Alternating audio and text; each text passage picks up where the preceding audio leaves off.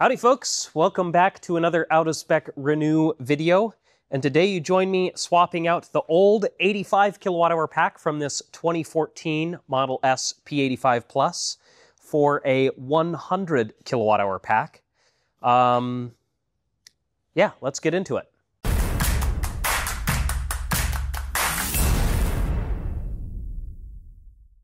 So, as I mentioned there in the intro, this right here is a 2014 Model S P85 Plus.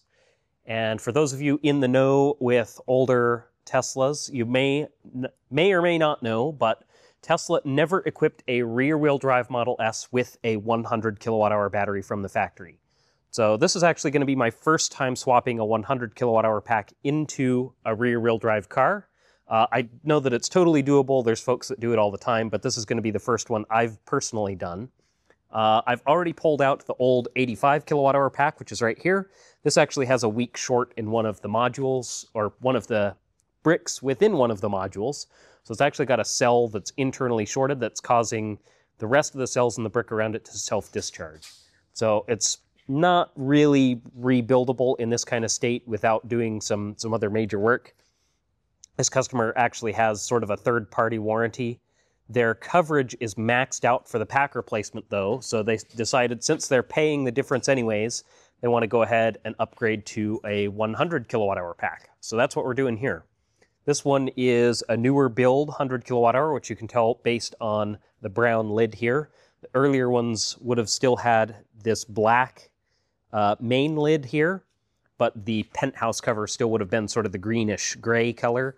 The newer build ones have this brown penthouse. So we're going to be swapping that pack into the car here. And uh, I'm just going to kind of give you guys a brief overview of the process. I have a very detailed video on the 100 kilowatt hour pack swap that I did on my personal car, which is a 2015 Model S 70D. Um, there's only really one modification that we need to make to the pack in order for it to fit in the car, and that is to swap out this ring right here around the high voltage rapid mate connector. The old one is this orange ring. So this is what used to be there. And this one is slightly taller. It's meant to fit the rapid splitter system. The older cars use a different style high voltage rapid mate, so they have this um, lower seal surface. Uh, so yeah, that's just a part that bolts on, super easy to swap out. Everything else about this pack is fully bolt in. Um, there's really not a huge weight difference between the two packs. I know that a lot of people bring up a, bring that up as a concern, but the weight difference between this pack and this pack is less than 200 pounds. So, you know, near as makes no real difference in terms of the capability of the car. It's not like it's a huge weight differential. I mean, it is a fair amount of weight, but it's well within the capabilities of the car's, uh, you know, suspension and all that stuff. Uh, I mean, you're basically talking about one extra passenger's worth of weight in the car. Uh, this car is equipped with air suspension, so no adjustments required there. The air suspension can compensate for the weight, no problem. If it were coil suspension, we would probably want to think about replacing the struts. I can tell you on my personal car, I didn't end up swapping out struts, and it's perfectly fine. Like I said, not a huge weight difference. Uh, but yeah, with the air suspension, not a problem. Anyway, at this point, we're going to uh, go ahead and get this battery up on the table. I'm going to go ahead and get it bolted into the car. And the main thing that I'm going to show is sort of the pairing process to get this pack in and set up paired with the car via Toolbox. All right, so we've got the new pack positioned under the car, ready to go.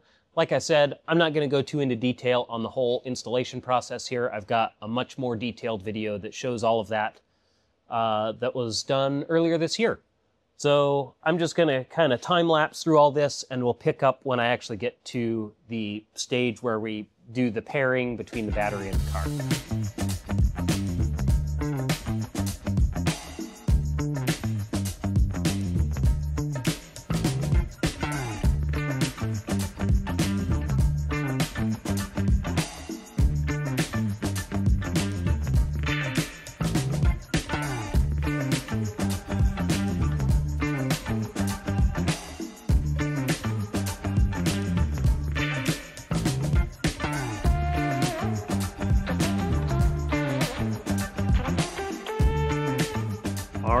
Battery pack is fully installed. I've gone ahead and reconnected the 12 volt battery and the high voltage service disconnect.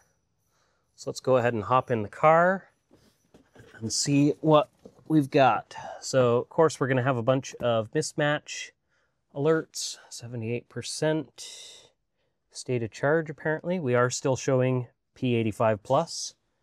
Uh, we are in service mode. Let's go ahead and look at service alerts. Actually, we might as well see if if the car will actually do anything if we try and hit the brake pedal. Okay, yeah, so it says unable to drive. Uh, There's BMS version mismatch, etc., etc. BMS power supply. Okay. Unable to charge 12 volt. Yeah, so we've got all the typical typical stuff for our mismatch. I don't like the BMS power supply alert. Hopefully that doesn't cause a problem for us. Maybe my low voltage rapid mate isn't as fully seated as I would like it to be, but I don't see any MIA alerts, so I guess that's a plus. But let's go ahead and start with a software reinstall. We are connected to our Wi-Fi here, so let's go back to that software reinstall. We'll go ahead and hit reinstall and let that go through its process. It'll probably take 15, 20 minutes or something. So I'll bring you guys back in once the redeploy has finished. All right, so it looks like the car completed its firmware redeploy. I actually just did a full software update on it. And as you can see, it does still say it's a P85 Plus, but we no longer get complaints for a firmware mismatch. If I put my foot on the brake, you can see the car is on. Let's see if we can put it into gear. And we can. Awesome. So we want to do, so our next step is that we need to do our battery replacement routine, which will update the pack config info. So I'm going to go ahead and get my laptop set up with Toolbox and we'll get connected and we'll do that process. All right, so we've got Toolbox pulled up here. I haven't actually connected to the car yet, but we are plugged in. So I've got our cable that runs around over to the side here. Now, of course, for Legacy Model S, depending on build date, this connector can be in different locations. It's either on the left side of the dash here on the earlier cars. On the later cars, they put it right underneath the cubby here in the center console. Um, but yeah, so we're plugged in there. Now, in theory, at this point, the car is actually fully functional. We could call it good. It actually still has full usable range. Uh, if I well, I'm already in display here, so if I switch to distance, you can see it's showing 244 miles. If I switch back to percentage, it's showing 78%. So fully charged, it should be around 310-ish, which is correct for the 100 kilowatt hour pack with this vehicle's configuration. Uh, so it's going to display the correct range and everything. It's just that the vehicle's configuration is still not correct. So we are going to go ahead and go back here. I just wanted to show you guys the alert for the BMS uh, voltage, input voltage um, alert is gone. I think that's just a little bit of a glitch that had something to do with the firmware issue. We do have a battery coolant heater that needs to be replaced as well. I'm going to be doing that on this car later. But what we want to do here is we want to go ahead and connect to the vehicle. Now this is on MCU1, so it's going to take a little bit to go through its whole process. Uh, it has to do this CKETH unlock routine. So we've got a special program downloaded that works in conjunction with Toolbox. Um, what the heck is it even called? I don't remember. Uh, I think it's just called Toolbox Proxy. That's what it is. So that's that guy right there. It's not a program we can actually open up. It's just something that works in conjunction with Toolbox in order to allow Toolbox 3 to work on MCU1 equipped vehicles. So it takes a minute to go through its whole routine there. Sometimes it could be a little bit finicky and it might not connect on the first try. But once that gets connected, I'll bring you guys back and we'll go through the pack replacement routine, which should update our vehicle configuration to reflect all of the right info. All right, it took two tries, but we are finally fully connected to the car. we want to go up here to the search tab. That opens up this additional little tab here. And we want to go to actions. I can actually click on it. There we go, actions. And then I want to go to battery, so post HV battery replacement. That's what we want to go to. Maybe, if I can actually click on it properly. There we go. Uh, vehicle gateway is unlocked. Don't know why it says it's locked. First responder loop is connected. So we did our CAN redeploy already. Then we want to do this routine and that should update our configs to what they need to be. Um, don't remember how long this takes, but it shouldn't take too long, five or 10 minutes or something maybe. Um, but yeah, so we'll let that go through its procedure. And then once it's finished, the car should show its correct config. In fact, let's go ahead and just go to software. So we'll go to software here and it'll actually have to reboot the gateway when it's finished. So the screen will have to turn off, it'll turn back on, and then we should get P100 plus. I don't know if it'll actually add the plus onto it or if it'll just show it as a P100. Um, but I'm hoping we'll get to see P100 Plus because that's pretty slick. Um, but yeah, this step, like I said, not strictly necessary. I certainly recommend it. I know folks who have done these pack swaps before and are still running their car on the old config info. Um, I know a guy who's just a little ways north of here, actually. Uh, shout out Brian Kelly he did a 100 kilowatt hour swap on his P85D, I believe, and he has never actually done this routine on it. So his software still says P85D, but he still has full usable range with the 100 kilowatt hour pack. Um, but yeah, this procedure does require a toolbox subscription to do.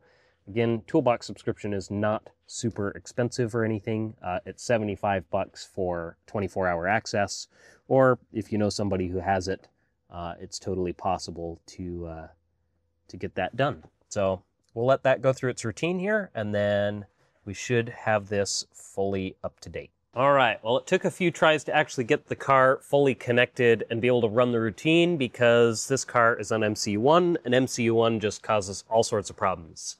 Little PSA, if you have an older Model S or Model X, this is another reason to add to the list why an MCU2 upgrade is worth it because MCU1 just makes it super difficult to do service procedures where MCU2 is basically a breeze. But our routine has completed. The car is currently rebooting. And as you can see on our instrument cluster there, we've got P100. So I guess it doesn't add the plus in when we do the 100 swap on this, but that's okay. Doesn't really matter.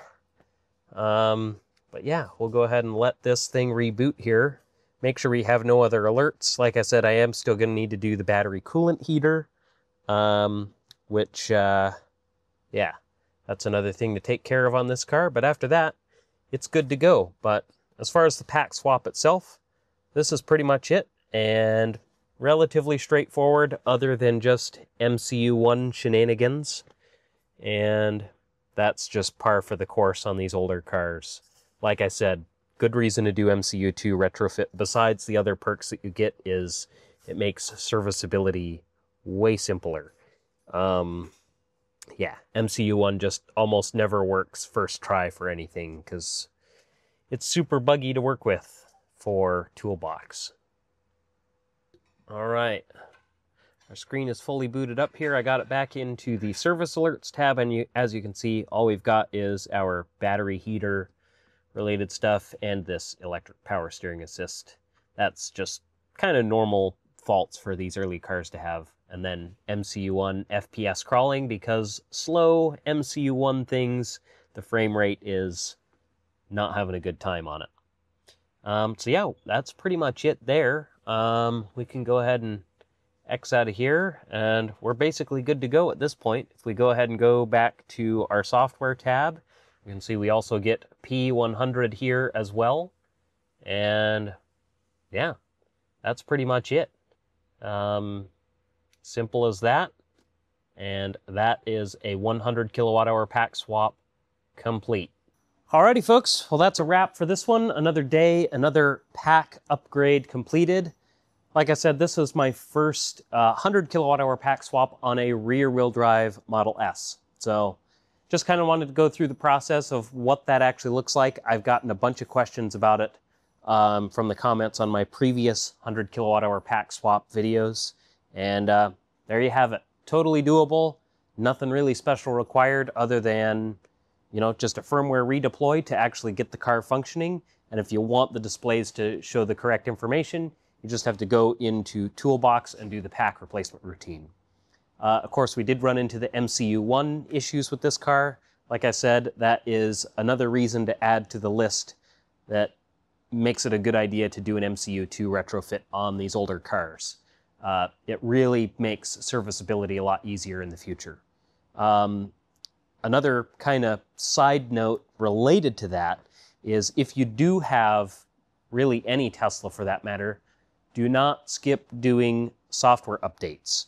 If you skip doing software updates for more than two years, the car loses its security certificates to perform software updates and such, and it makes it impossible to do component replacements without the car going to a service center to have the certificates renewed. So that's another thing to keep in mind is make sure to keep your software updates at least reasonably up to date. Um, and yeah, so anyway, this one's finished up other than the battery coolant heater, which I'm still waiting on some parts on to finish up. But that's going to do it for this one. As always, thanks for watching.